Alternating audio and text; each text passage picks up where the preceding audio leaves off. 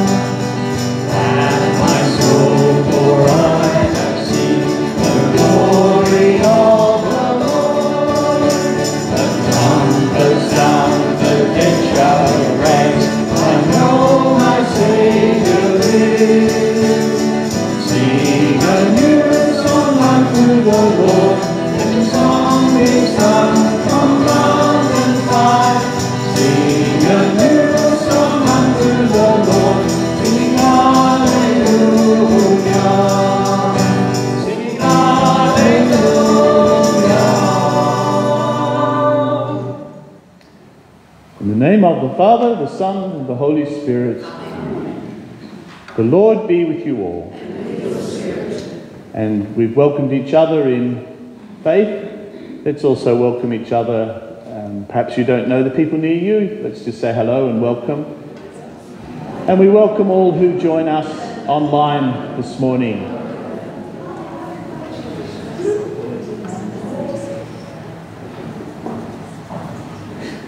to all at home praying with us. We are united as one family, and in humility we pray. Lord, you came to gather the nations into the peace of God's kingdom. Lord, have mercy. Lord, you come in word and sacrament to strengthen us, to make us holy. Christ, have mercy. Lord, you will come in glory with salvation for your people. Lord, have mercy. May Almighty God have mercy on you, forgive you your sins, and bring you to life everlasting. And we sing God's praises in the Gloria. Glory to God in the highest, and peace to people of good will.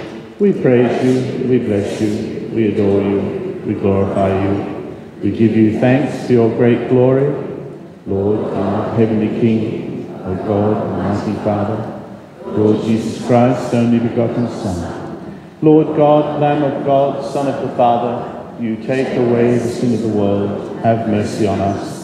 You take away the sins of the world, receive our prayer. Are seated at the right hand of the Father, have mercy on us. For you alone are the Holy One, you alone are the Lord, you alone are the Most High, Jesus Christ, with the Holy Spirit, in the glory of God the Father. Amen. We pray. Lord, our help and guide, make your love the foundation of our lives. May our love for you express itself in our eagerness to do good for others. We pray through Christ our Lord.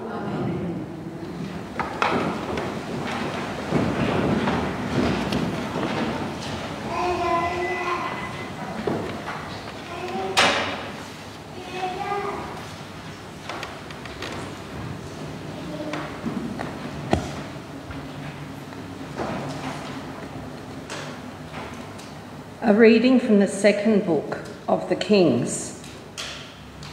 Naaman the leper went down and immersed himself seven times in the Jordan, as Elisha had told him to do, and his flesh became clean once more, like the flesh of a little child.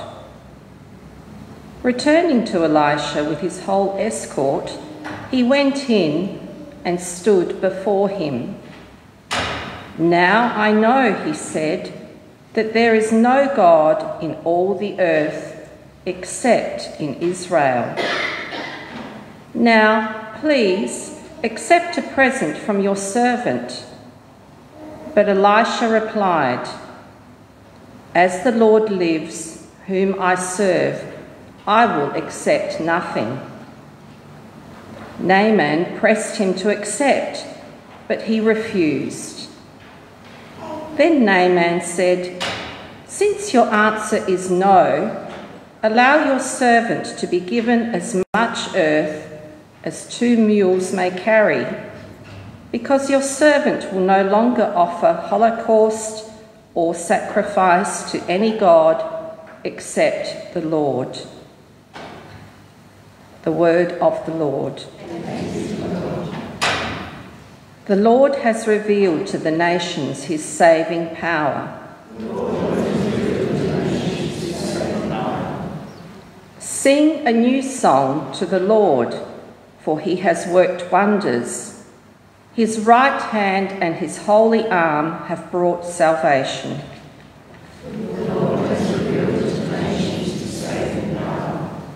The Lord has made known his salvation has shown his justice to the nations. He has remembered his truth and love for the house of Israel.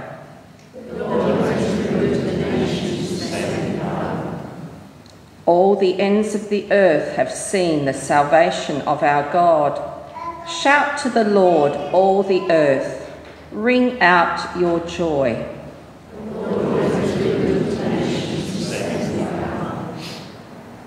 A reading from the second letter of St. Paul to Timothy. Remember the good news that I carry Jesus Christ, risen from the dead, sprung from the race of David. It is on account of this that I have put my own hardships to bear, even to being chained like a criminal. But they cannot change, chain up God's news. So I bear it for the sake of those who are chosen, so that in the end they may have the salvation that is in Christ Jesus and the eternal glory that comes with it. Here is a saying that you can rely on If we have died with him, then we shall live with him. If we hold firm, then we shall reign with him. If we disown him, then he will disown us. We may be unfaithful, but he is always faithful, for he cannot disown his own self. The word of the Lord.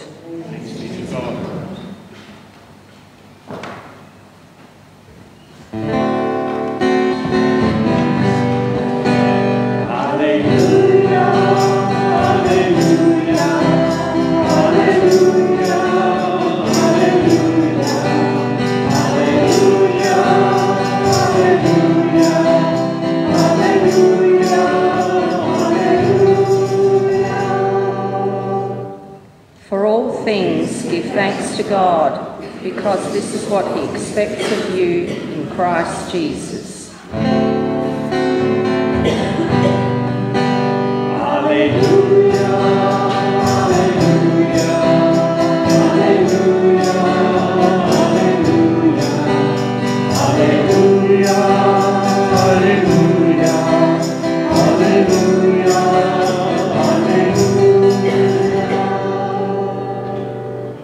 The Lord be with you.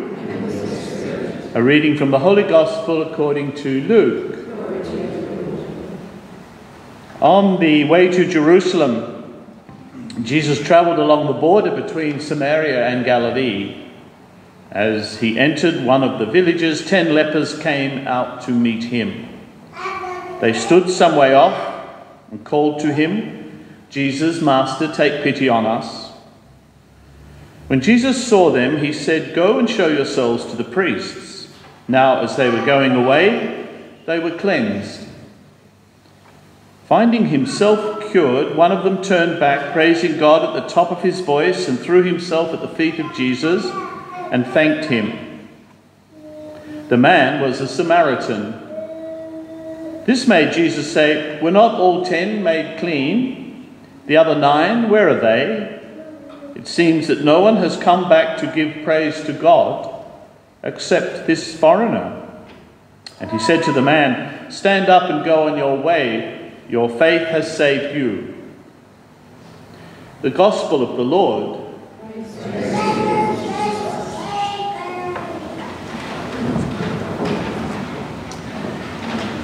Uh, many of you may know of the um, famous anthropologist Margaret Mead, who made a lifetime of study of um, early cultures, primitive peoples, and communities. There was a time when uh, Margaret's students asked her, in her opinion, when did a primitive group become civilized? They expected her to speak about when they discovered tools in the um, excavations or when they discovered cooking utensils. But her answer was not that. She said, in her view, a group became civilized, early people became civilized, when she would find amongst the excavations the bone of a person that had healed, especially a leg bone. If you uh, appreciate perhaps early, well, even the animal world and early human existence, to break a limb was the end of life. You could not keep up with the tribe, you couldn't walk, you couldn't gather food, you couldn't flee a predator, you couldn't go down to the lake or the river for water. You were doomed. But for Margaret, the presence of a mended bone told her that someone had stayed with that person, someone had fed that person, looked after them in all the period of time they could not walk until they were well enough, until the bone fused and mended again. For her, that was the measure of what makes Homo sapiens uh, civil, communal. It's what makes us. I think she's very right. I think compassion and care that's extended to another is the hallmark of being human. It's certainly a hallmark of Jesus' life, and in one sense, Jesus came to show us how to live a good human life in the image of God. And today we have a very powerful example of the, the lepers turning to Jesus and he in turn reaching out to them to care for them in their need They don't have broken limbs. They had a horrible skin disease called Hansen's disease today. But leprosy in his world uh, was a severe challenge to societies. People couldn't cope with this communicable disease, and so their only strategy was to exclude people uh, from the communal living areas, from the village. It wasn't simply a suffering then of illness, it was a suffering of exclusion and isolation, um, a separation from family, a separation from work, a separation from any capacity to earn a living. People lived by charity. Their only consolation was that at least they often grouped together, as we see today, a Samaritan and Jewish people together in their um, illness, groups that didn't like each other but they've overcome that barrier to at least live together.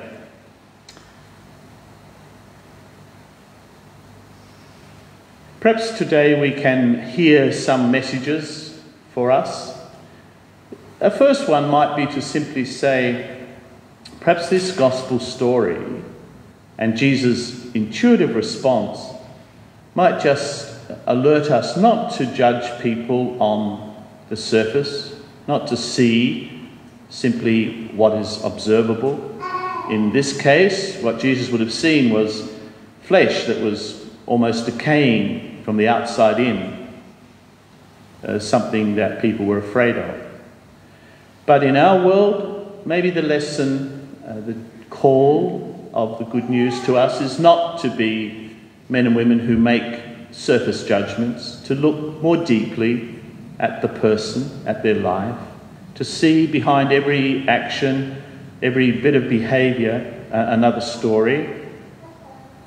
We, as Christians, if we want to follow Jesus, then we are challenged to see more deeply, to see beyond the surface, to see the relationships that person may have or may not have, to see her dreams, his hopes, her pain, his emptiness, her potential, his losses, her sufferings, his sufferings, her gifts, etc. In short, no one is what we simply see. They are more deeply human. And that's what Jesus saw, and that's how he acted in life. He befriended them. He wasn't supposed to mix with lepers, they were excluded, but he goes to them. Perhaps that's another lesson, uh, a simple one for us too, about the value of simple friendship. We might even speak about the ministry of friendship. We don't often think that being a friend to another person is a way of extending God's love into this world and building God's reign, but it is. In our care for another, in the simple ways we call friendship, there's often a profound way of supporting another, and indeed of being supported. They say a good friend does three things for us, or indeed, as a friend, we do three things for others.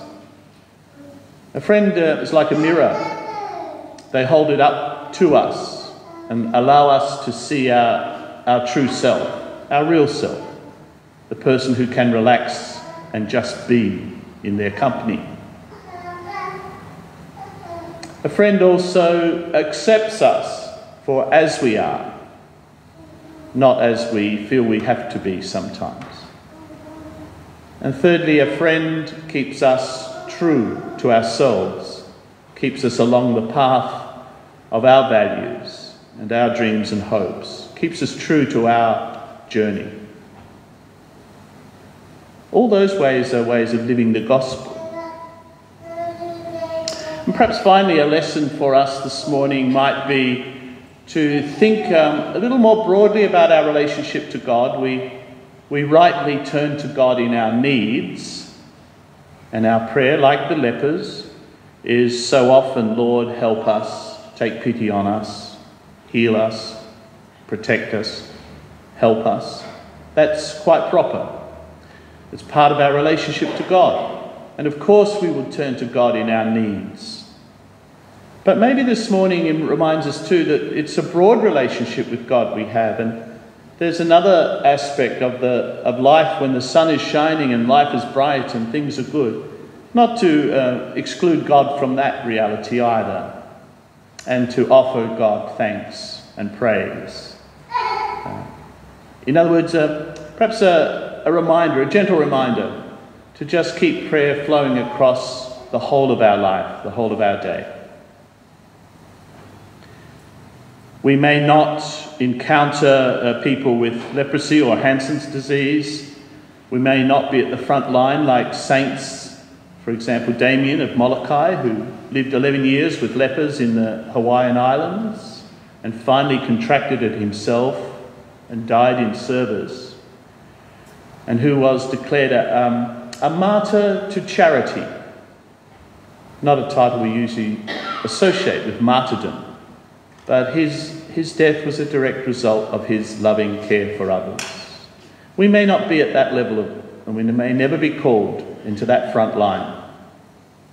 But we are, we are called and we have the potential to see beyond the surface of someone's life. We can be a friend to those around us, and we can always praise God just as we ask God for help in those times of need.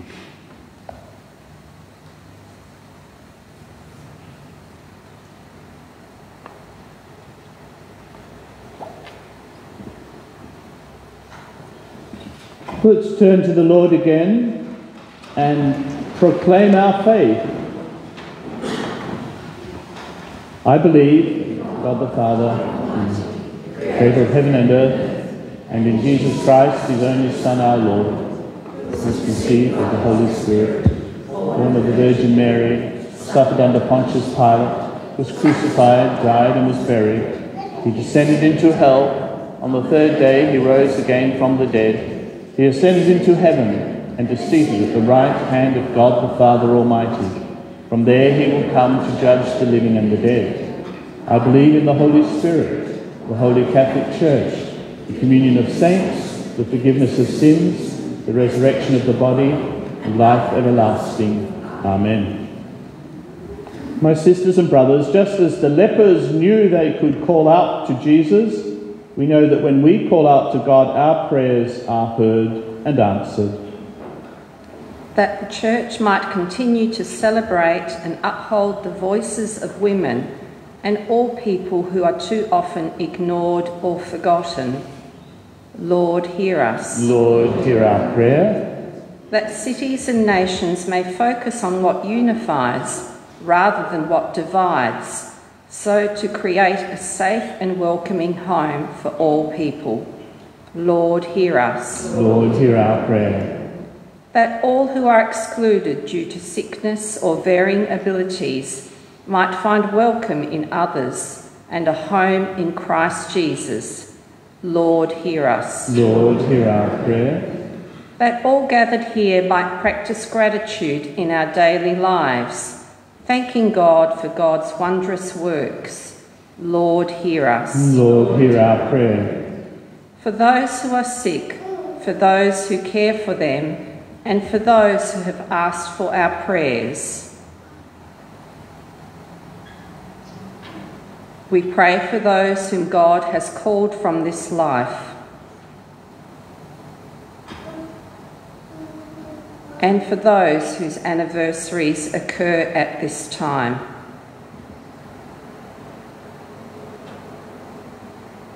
Lord, hear us.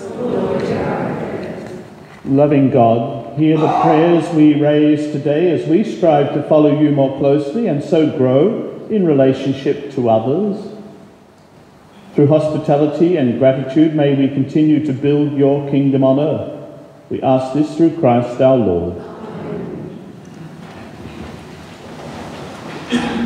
We, we have a collection uh, today.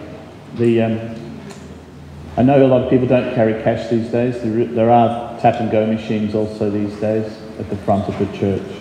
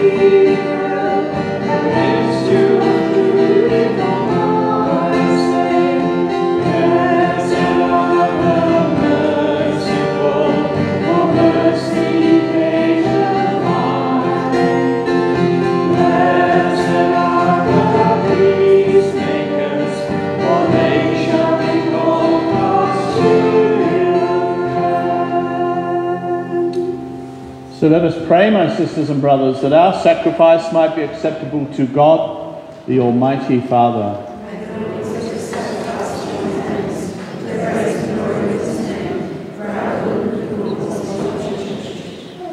O Lord, accept the prayers of your faithful with these sacrificial offerings, that through these acts of devotedness we may pass over to the glory of heaven. We pray through Christ our Lord. The Lord be with you. Lift up your hearts. Let us give thanks to the Lord our God. It is truly right and just, our duty, our salvation, always, everywhere, to give you thanks, Lord, Holy Father, Almighty, eternal God. For in you we live and move and have our being. And while in this body we not only experience the daily effects of your care, but even now possess the pledge of life eternal. For having received the first fruits of the Spirit, through whom you raised up Jesus from the dead, we hope for an everlasting share in the paschal mystery. And so, with all the angels, we praise you and in joyful celebration acclaim.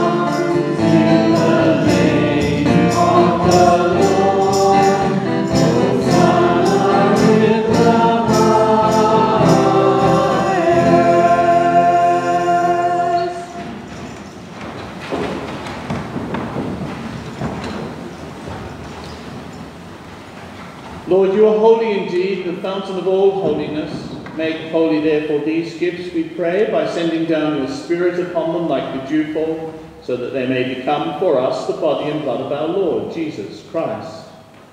At the time he was betrayed and entered willingly into his passion, he took bread and giving thanks broke it, gave it to his disciples, saying, Take this, all of you, and eat of it, for this is my body, which will be given up for you.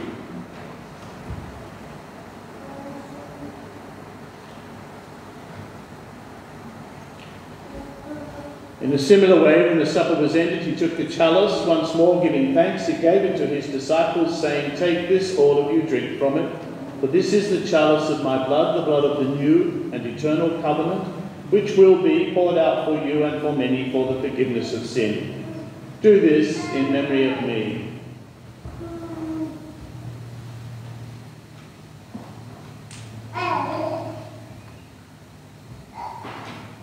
The mystery of faith. sei.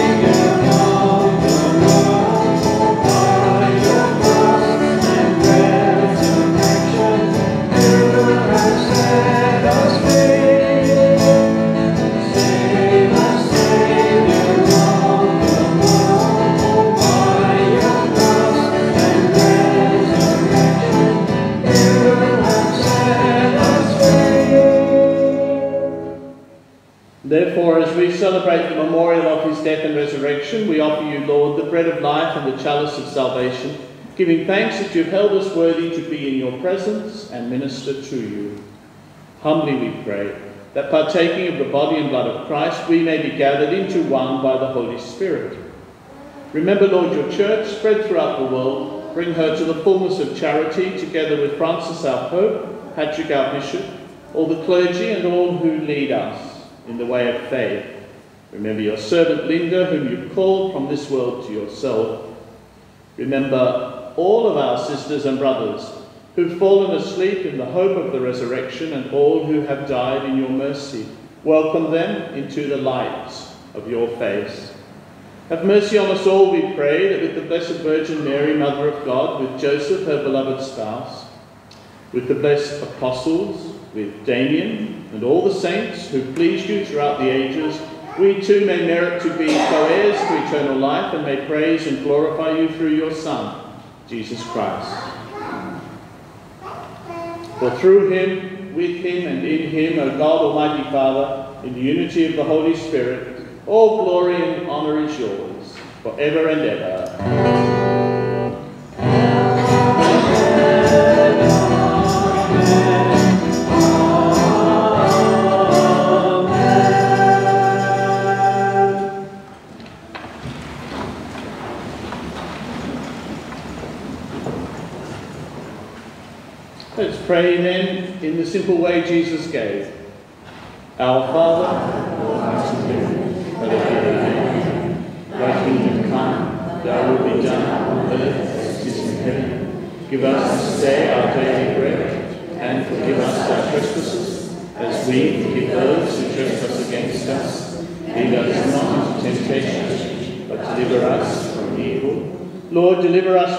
From every evil. Graciously grant peace in our days. Keep us free, with the help of your mercy, from sin, and safe from all distress, as we await the blessed hope and the coming of our Saviour, Jesus Christ. Lord, you said to your apostles, Peace I leave you, my peace I give you. Look not on our sins, but on the faith of your church and graciously grant her peace and unity in accordance with your will. You who live and reign for ever and ever. Amen. The peace of the Lord be with you always. Those near us that we've greeted, let's offer a sign of peace. Peace to all at home.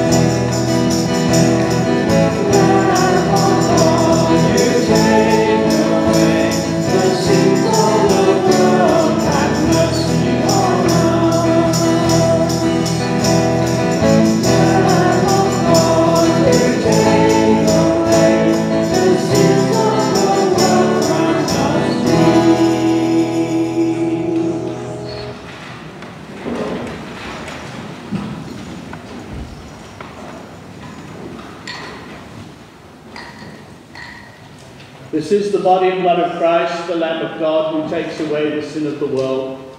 Happy are we who share his life at this, the supper of the Lamb. Lord,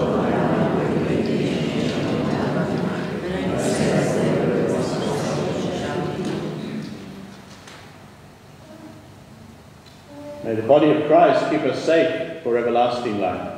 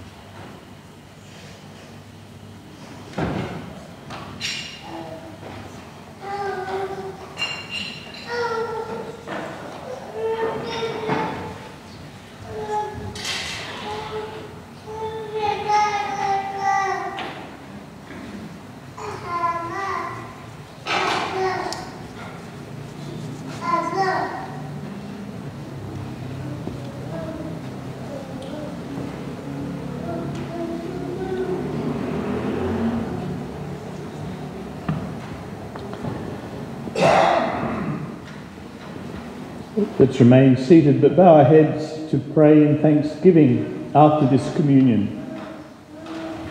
Almighty Father, may the body of your Son give us a share in his life, for he is Lord for ever and ever.